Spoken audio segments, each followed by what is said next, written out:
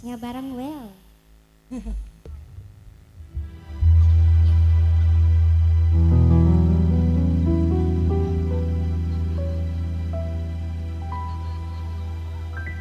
Yen memang dianggap demenan Tapi masih kayak baturan Yen memang